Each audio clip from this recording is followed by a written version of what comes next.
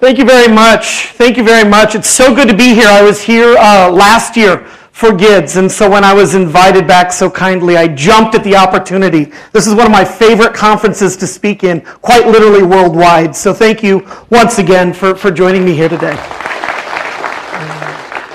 Uh, I run a company called uh, Thirsty Head. And uh, the focus for the last oh, five years or so has been on Groovy and Grails advocacy. Um, you'll hear me talking about Groovy and Grails uh, uh, tomorrow in the Java conference. But within the past year or so, I've also been focusing on a different set of technologies. Not just Groovy and Grails, but also HTML5. So today, you'll hear me talking about HTML5, and then later in this same room, you'll hear me talking about uh, micro formats uh, RDFA and micro formats. But before we get started with this, we have a very important question to pose for you. Um, I'm here with my good friend, Dr. Venkat Subramaniam. He'll be presenting after me today. He was here yesterday speaking at .NET, and I was out shopping. And I bought a brand new shirt. Do you like my shirt? Yes, very much. Venkat begged me not to wear it today. He begged me. He says, please, please, please do not wear it. He said, if I wear it, I'll be hearing words like this all day, which I can only imagine means esteemed scholar, wise man. Is that what these mean? No? They don't? Oh my goodness. Oh my goodness. Well, we argued back and forth, and then the fortune that, that we had, the thought for the day at breakfast, convinced me that indeed I am going to wear this shirt. Of course, I had to scratch it out a little bit and insert my own words. But um, I'm very happy with my shirt. I hope you enjoy it as well. If you come back tomorrow, you'll get a chance to see the sorry that I bought as well. Yeah? okay, enough of this nonsense. We're here to talk about HTML5 today. So let me ask you a silly question. How many of you in here know HTML? Show of hands, please. A ridiculous question, isn't it? Of course, we all know HTML. We are web developers. So let me ask you this another show of hands. How many of you have ever had any formal training in HTML? Look around. Look around. No hands, very few hands go up. Amazing, isn't it, that we are expected to be experts in a technology when we've had no formal training? Many times the idea is, oh, HTML is too easy. You don't need any formal training. But without sitting down and understanding the technology, sometimes you can miss some of the nuance of what's going on. So I'm hoping that today will be your first training in HTML5 because there are a lot of new exciting features that you might not be aware of. And if you continued programming like you have in years past, you would miss all of the excitement and all of the new features that are coming in HTML5. So, what we're going to talk about today, at a very high level, are just some of the new elements that are available to you. Some of the structural elements, like header and footer and nav. We're going to talk about some of the new form fields that are available to you.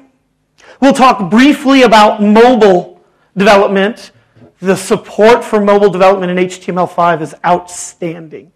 And then we'll touch briefly on video at the end of the talk. Now, I'm going to be doing very little coding. I will be doing no coding here. But if you stay and hear my colleague uh, Venkat's presentation next, his talk is going to expand on what we've talked about here, and he's going to give you live demonstrations of many of the features we talk about today. So consider this an introduction to the features and then afterwards, Dr. Venkat Subramaniam's presentation will be on the implementation and demonstration of these features.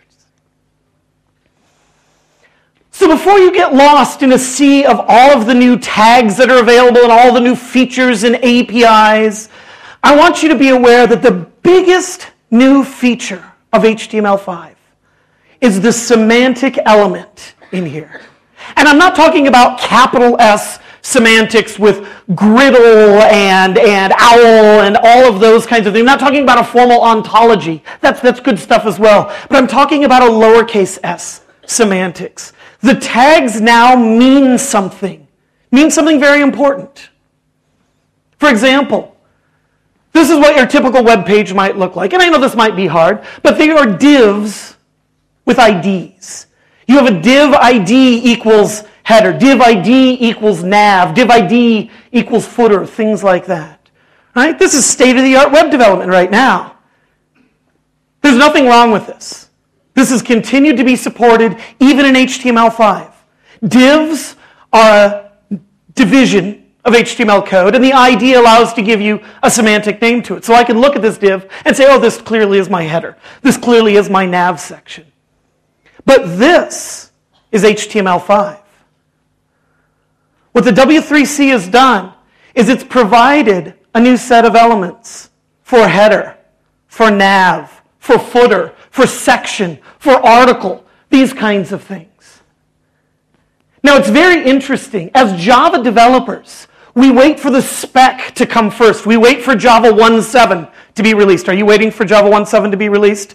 I'll be a very old man by the time Java 1.7 is released. But once it's released, we know that it's fully implemented. We know that we will be able to program to that spec. In HTML, the reverse is the case. The browser vendors and manufacturers start implementing these features, and then the World Wide Web Consortium codifies what they've done.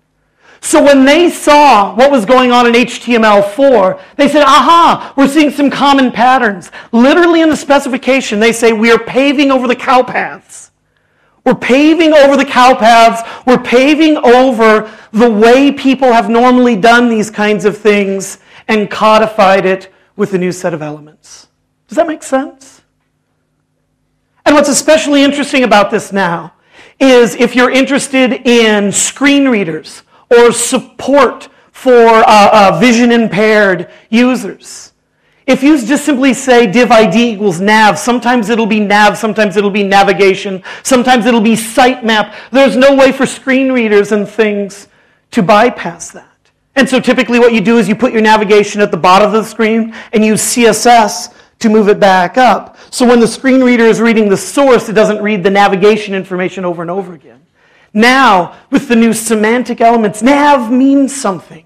And screen readers and other applications can go in and parse that code and do interesting things with it. Whether it's ignore the code for a screen reader or provide a new set of information for whatever app happens to be reading this. Does that make sense? This is what we're talking about. This is why semantics are so exciting about HTML5. Let me ask you for one more show of hands here. Are any of you using HTML5 in your applications right now? Oh, very good. A few hands go up. A few hands go up. Are you the same people who had formal training in HTML? Perhaps. Perhaps. So let me tell you right now, I don't recommend you use HTML, HTML5 because it's, it's very new, it's very experimental. No one is using it. Oh, oh, wait. No, Google is using it.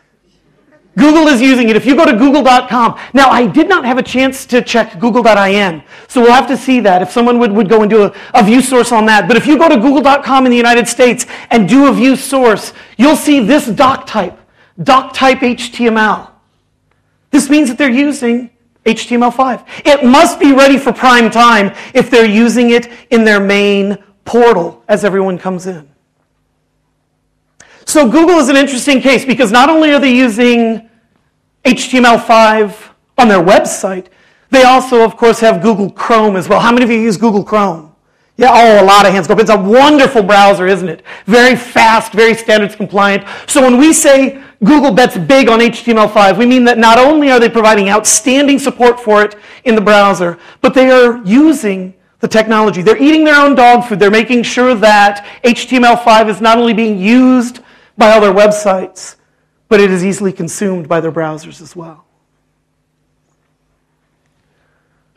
Apple is all in on HTML5. If you go to apple.com and do a view source, they're using doctype HTML. They're using HTML5 for all their websites, and of course, Safari is an outstanding browser with incredible support for HTML5 as well.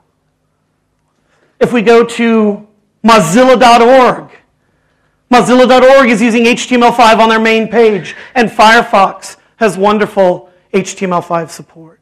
The list goes on and on, don't you? Do you see a pattern developing here? Even Opera. How many of you use Opera out here? Oh, I love that little browser, don't you? It's incredibly fast. It's incredibly fast, yes. Opera has wonderful support. Uh, unfortunately, if you do a view source on opera.com, they're not using HTML5 yet. So if you know anyone at Opera, would you send them a letter? Let them know that it really hurts my presentation that they're not using HTML5? They will. They will soon enough. So there we've covered all the major browsers, haven't we? I can't think of another one. Google Chrome, Safari, Firefox, Opera, all of the major browsers are covered in HTML5. What? No, did I forget something? Oh, yes, I must have forgotten something. Yes.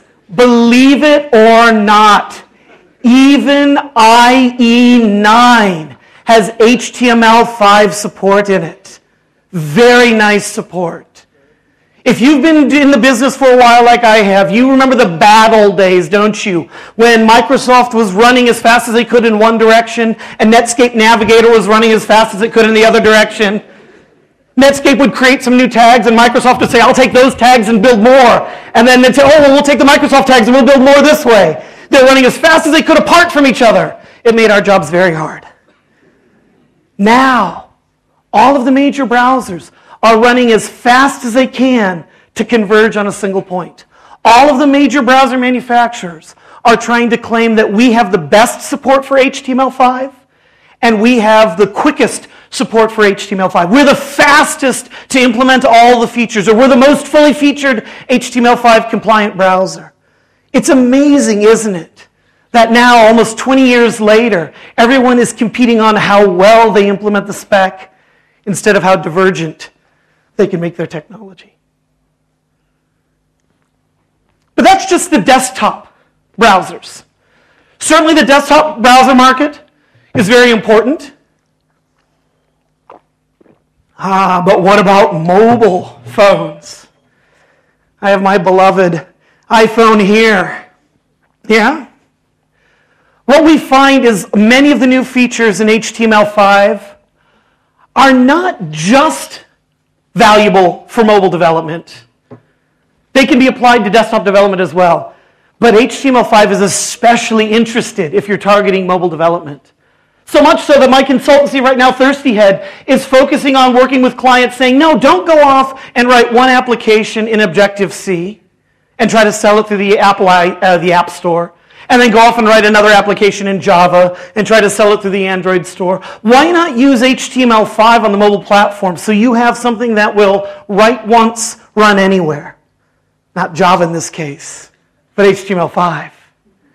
And you see many companies doing this from the New York Times to the Wall Street Journal to USA Today, all of the major network television channels in the United States, ABC, NBC, CBS, all of these websites are, excuse me, all of these mobile applications are simply HTML5 wrapped with a thin facade, enough of an application to get them into the App Store or the Android Store, or the Amazon Store, anything like that. We're finding that HTML5 is that unifying technology.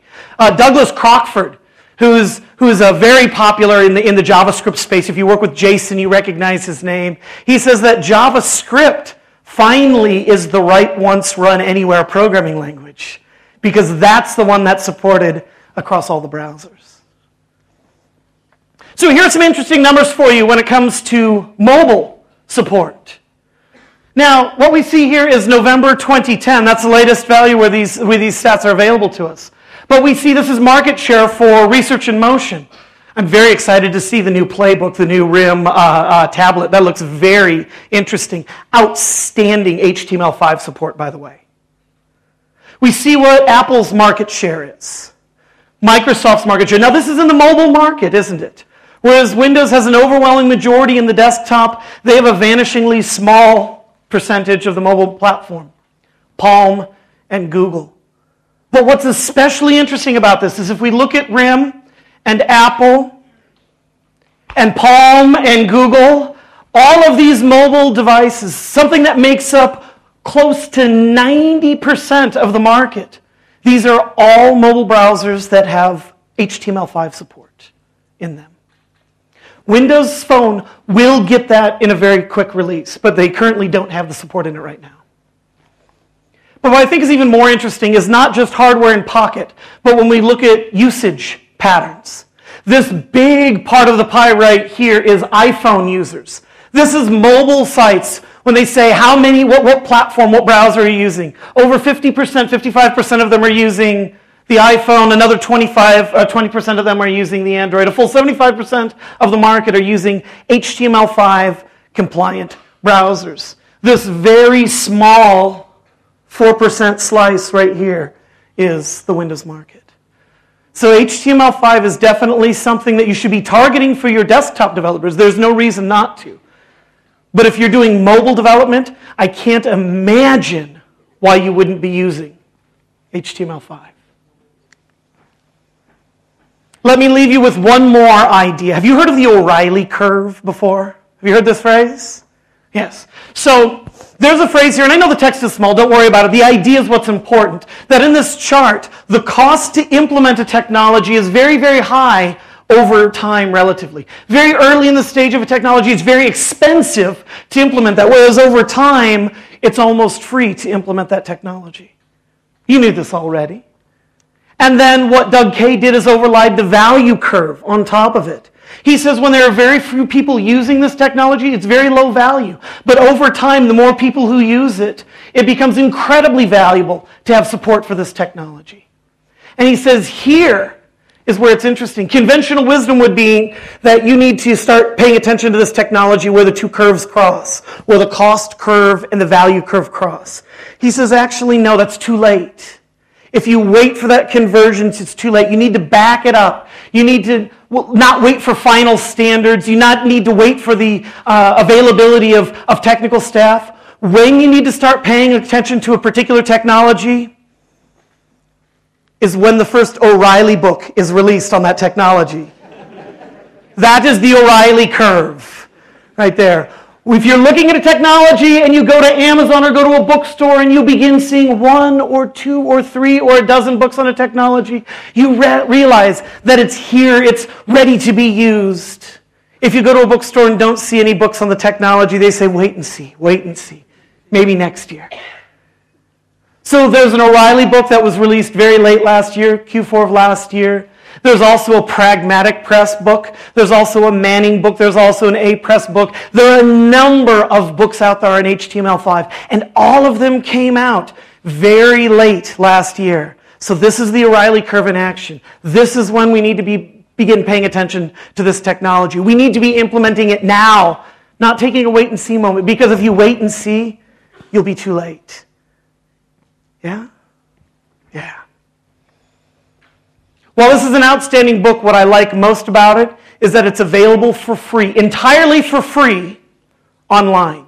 If you go to diveintohtml5.org, diveintohtml5.org, you can get the entire contents of this book for free. O'Reilly's been doing that a lot with their books recently when they're based on open standards technology and open source technology. Dive into html5.org and you can begin reading more about HTML5. Mark Pilgrim's a wonderful author. I'm a big fan of his work. So, let's start looking at what this means. Let's start looking at the new elements. First of all, you've seen this new doc type. Do you miss the old doc type? Oh my goodness. How many different doc types were there? Where there was strict and there was transitional and there was frame set and there was XHTML and there was HTML. There are all kinds of different things. So we're in our third decade of HTML development. If you can believe it, Tim Berners-Lee began working on it in the late 80s, early 90s. For the first 10 years of HTML, HTML was like SGML. SGML was the, the inspiration for HTML. So for 10 years we said, oh yeah, HTML is kind of like SGML, but not really. It's like it, but not exactly. Yeah? The next 10 years we spent saying HTML is just like XML. Not exactly, but HTML is just like XML, inspired by XML, similar to XML. That's where the XHTML standard came up. The W3C has officially dissolved the XHTML committee. XHTML is deprecated. What that means, of course, we'll continue to support it. But they said in this third decade of HTML, HTML is not like SGML, XML, or HTML is not like XML. HTML is like HTML. Finally, we've gotten there. And so this radical simplification of the doc type means that now, this is just an HTML document, and we should treat it as such. Now, some programmers get concerned about that. They say, well, wait a second. What happens when HTML 5.1 comes out? What about HTML 5.2 Service Pack 3? Huh? What are we going to do then? Huh? And the W3C says, no, no, no, no, that's not how this game works. Browsers, believe it or not, are already forward compatible. They said, whatever the version of HTML is, HTML 12, when that comes out, they said this doc type will be able to support it because the way browsers are engineered, they are able to be forward compatible. Let's talk about what that means. We have new elements being introduced like header and footer and nav and section and article. This is not a complete list, but these are the, the big ones. The most popular ones you'll begin using right away. These are the ones you'll, you'll see in Dr. Uh, Subramaniam's talk in just a moment. Most browsers, if you give them a tag they don't recognize, will continue to display the information. They said, we don't understand the semantics of header and footer, but we'll go ahead and display the information. You can do that in your development right now. If you create a tag called Scott and another tag called Davis, your browsers will display the information. It won't do anything special with it, but they will display the information. Now, if you want to add a little bit of semantics to it, one of the things you can do is you can add a little CSS. This is a recommended practice. These are all the new elements article, aside, canvas, details, fig caption, figure, so on and so forth. And th- when you do CSS, you're saying these should be treated as block level elements. We know block level elements, don't we? Things like P, the paragraph tag. A block level element means there's an implicit carriage return new line after them. So H1 is a block level attribute. P is an H level attribute. Div is a block level attribute. Yeah? The other type of attributes are spans. There are things that don't have the new line after them. So if you say B for bold or I or italic or anchor href, there's no implicit carriage return after those tags. And so in CSS, we can just say, hey, all these new HTML5 tags, these should be treated as block level tags. And if you include this CSS in your page, you have made every browser on the planet, with one important exception, HTML5 aware. This is exactly what Google and Apple and Mozilla are doing. They're saying, here are these new tags you may not understand. Please treat them as a block tag. Oh, poor Internet Explorer. So they took exactly the opposite approach, as Microsoft is wont to do. IE says if you give me a tag that I don't recognize, I'm not going to just ignore it. I'm going to hide all the content in the body of that tag. So your users won't be able to see it either. If I don't understand it, they don't get to see it. Too bad. That was fixed in IE9. IE9 does the right thing now. But all previous versions of IE, if it didn't understand the element, it would hide the information. And so folks have come up with a really nice workaround. They said in JavaScript, if you go in and programmatically create that DOM element, header and footer and so on and so forth, then IE will recognize it and then IE will display the information. So what they've come up with is this idea of an HTML5 shiv. If you include this little hunk of code at the top of your page, if Internet Explorer then include this HTML shiv, all that shiv is doing is using JavaScript to programmatically create all the new HTML5 elements. And if you don't want to include that shiv for any reason, here is that shiv in its entirety. Much like we did with CSS, it's simply iterating through all of the new elements and calling document create element on it. So between the CSS I showed you before and this shiv for IE, now every browser on the planet, including IE, is HTML5 compatible. This is why Google is comfortable using it on their homepage. This is why Apple is comfortable using it on their page, and Mozilla and Opera soon enough that all of these folks have said now we can make these browsers recognize what it means to be HTML5 compliant. So those are structural tags. header, footer, nav, section article.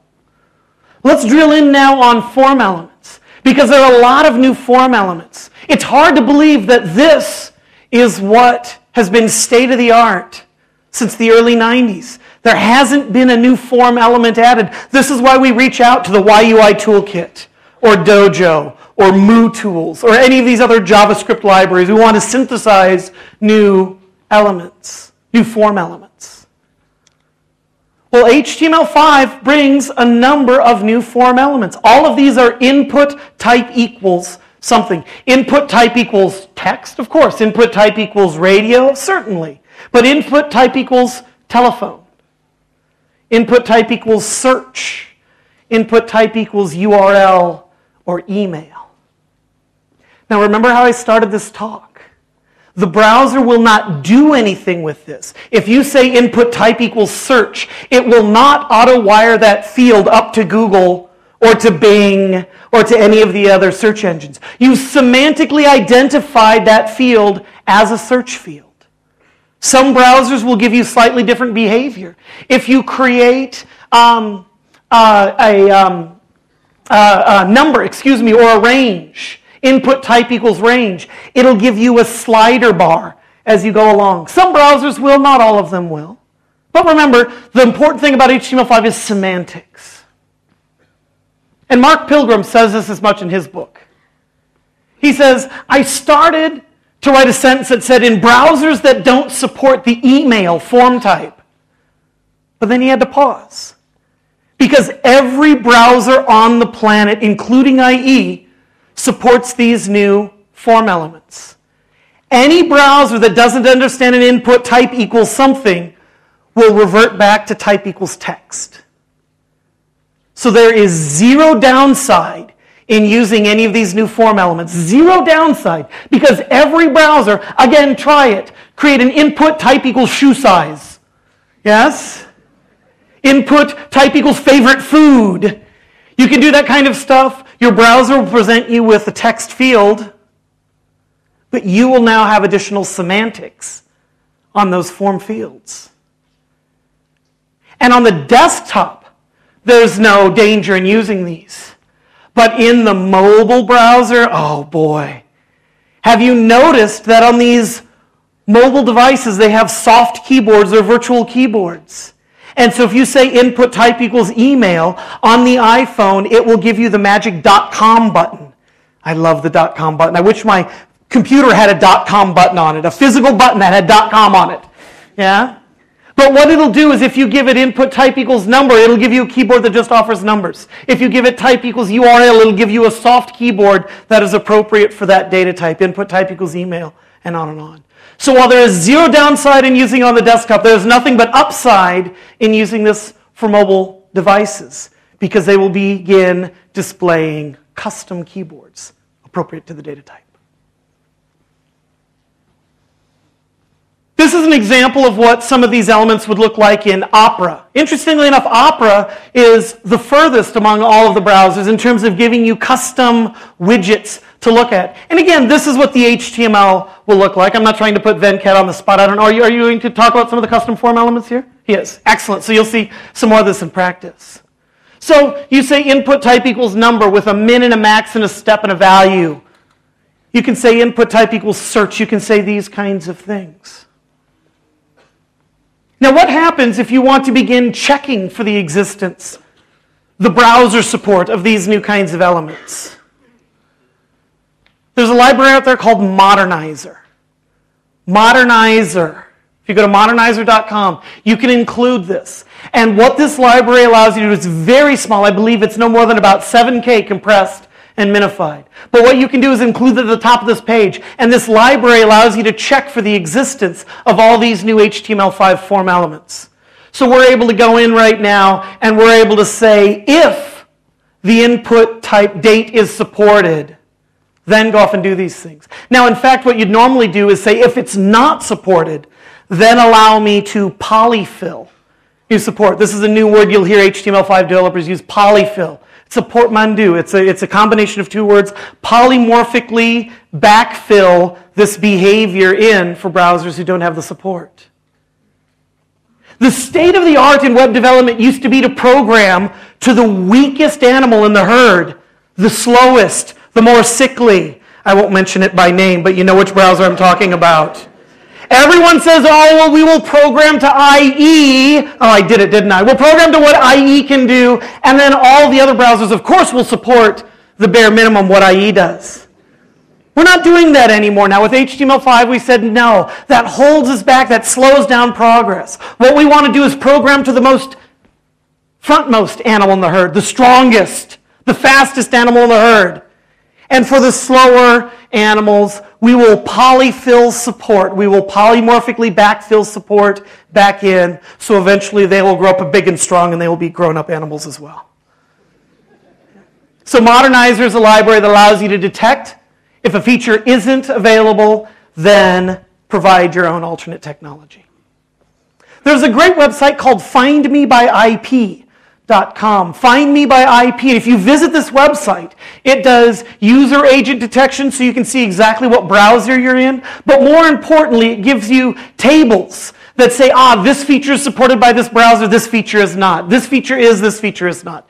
FindMeByIP.com is using Modernizr under the covers.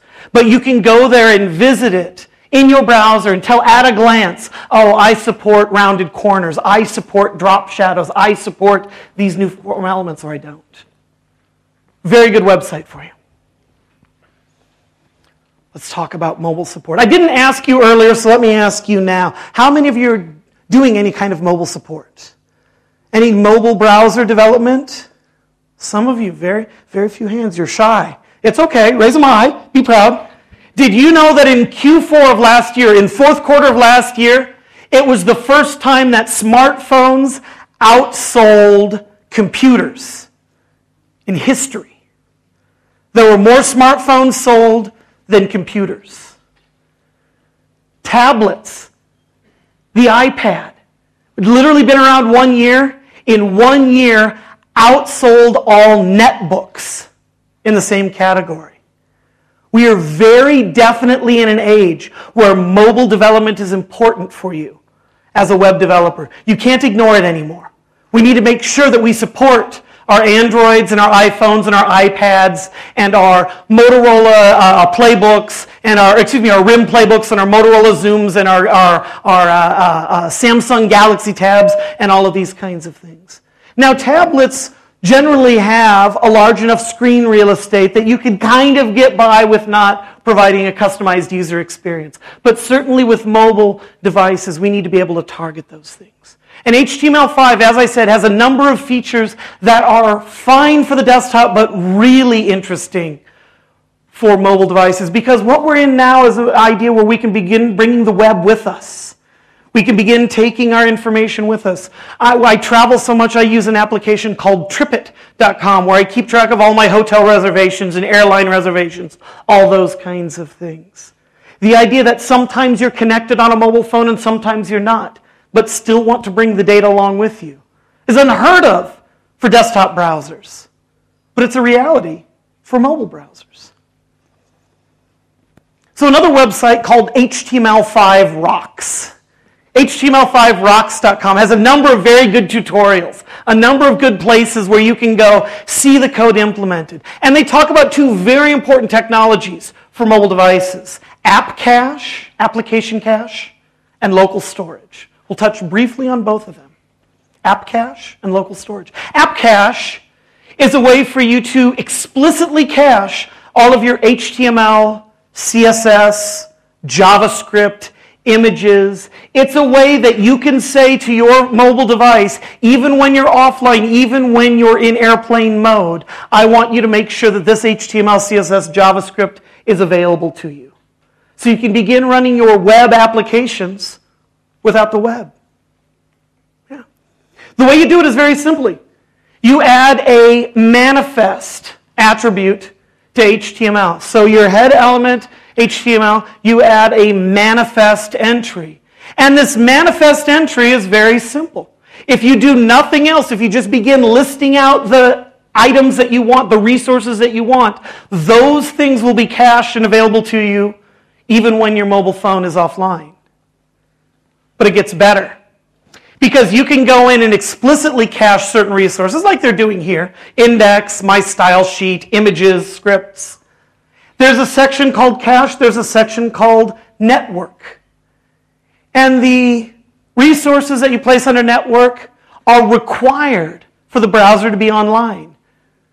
So in this case, we're saying, oh, in order to get to login.php, in order to get to anything under slash my API, shoot for anything at api.twitter.com, you must be online in order to access these resources.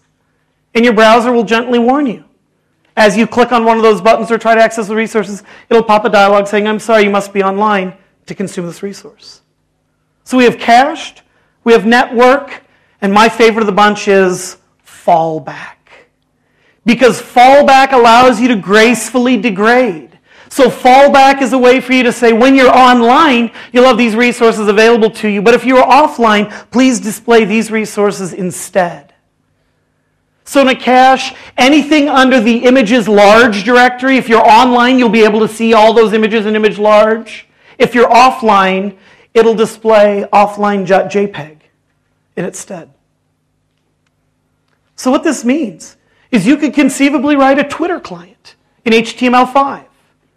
So when you're online, you're reading the tweets that are coming in, you're adding tweets, you're doing these kinds of things. When you flip into airplane mode, you'd be continue to f- type in those tweets, but they'd have to be saved somewhere because you aren't connected to the network. Have to be saved somewhere. And then when you reconnect to the network, they would be sent up to Twitter all at once. So whereas app cache is for HTML, CSS, and JavaScript, images, resources. Local storage is for data. Now you'll see that there are lots of things you can do with app cache. There's a whole life cycle you can go through. App cache can be in uncached mode or checking or downloading or update ready or obsolete.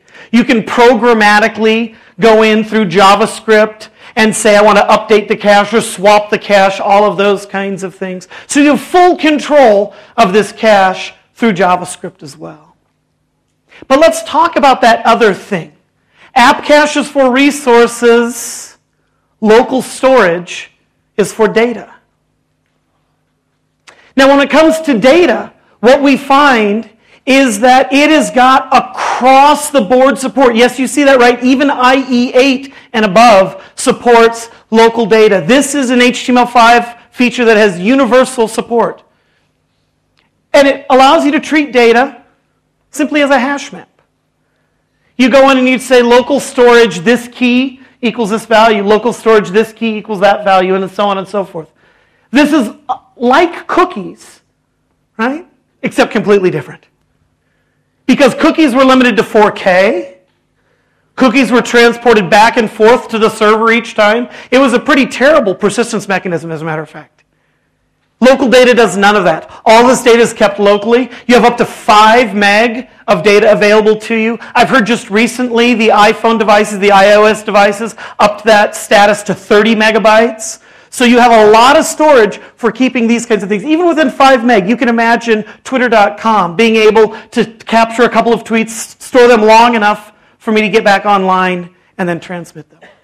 Like cookies, this is 5 meg per domain, per URL. But it's NoSQL.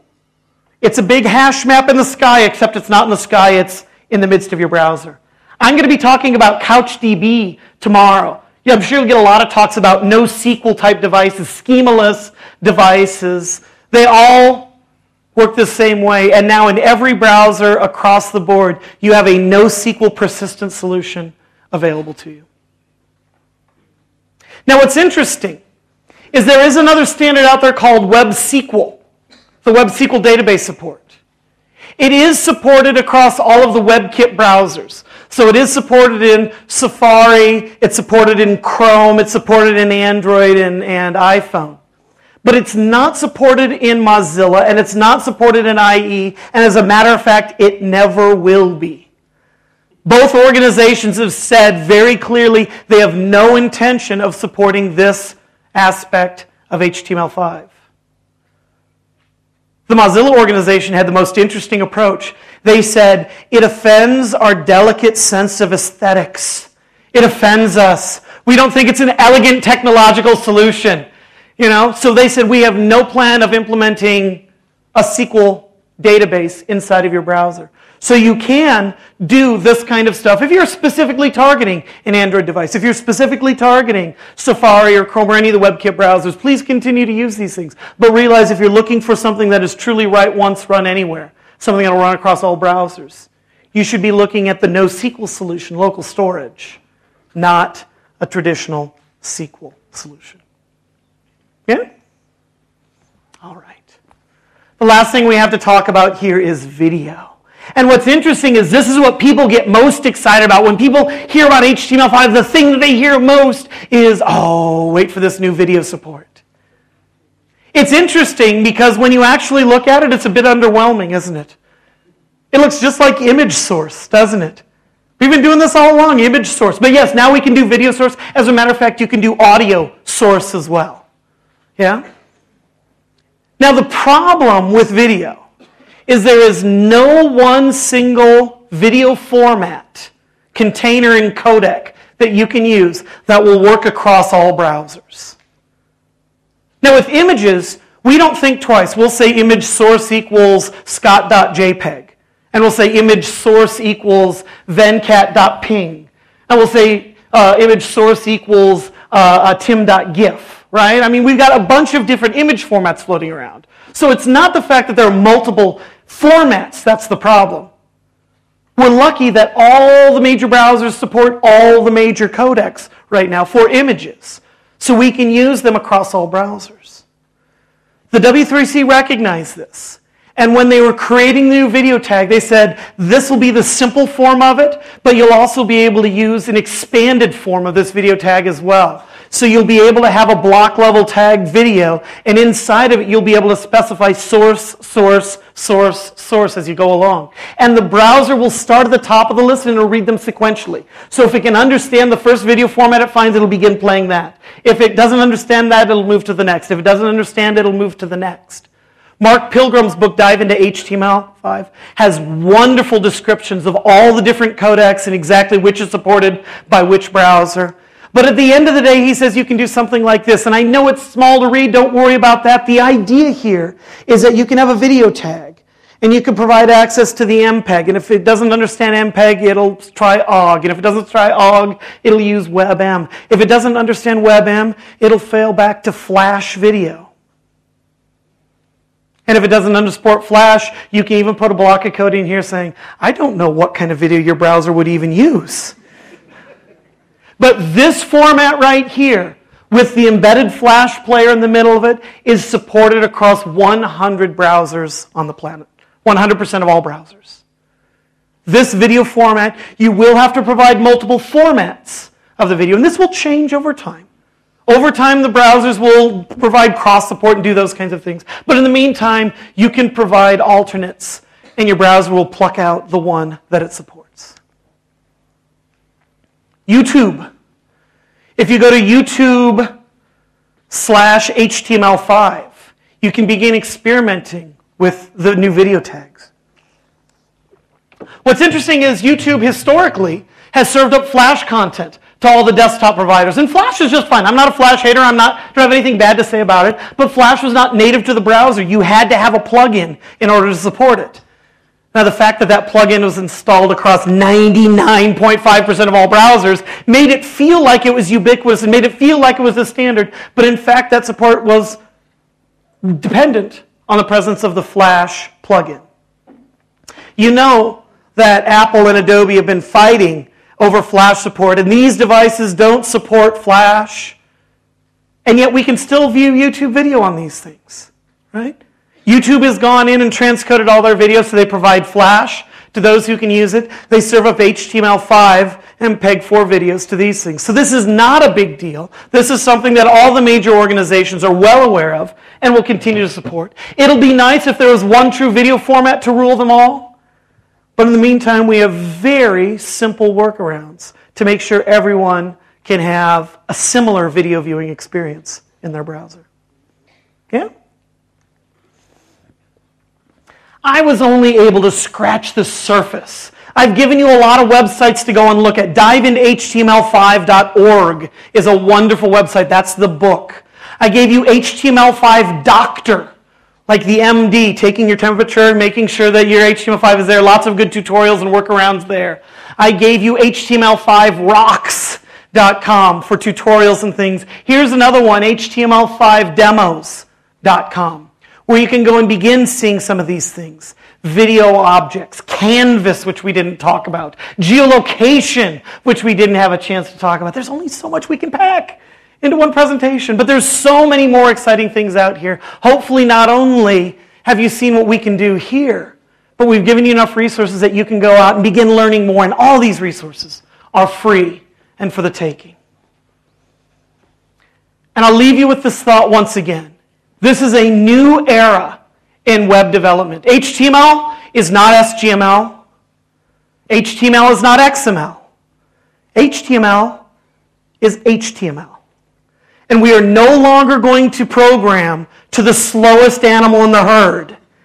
We are going to program to the most powerful animal in the herd because that is what advances state of the art. And if you have slower, weaker animals in the herd, we will use polyfills to go in, polymorphically backfill that behavior so that they too can participate in the new HTML5 revolution.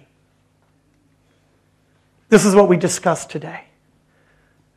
Remember, above all else, though, that we're in an era now where the elements mean something. We have semantics, and this opens up a whole new world. And I hope to see you this afternoon when I start talking about microformats and RDFA, because this is just a glimpse into what we can begin doing when our websites can be not only human readable, but machine readable as well.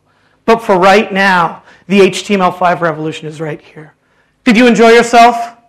I did. Thank you very much for your time. I appreciate it.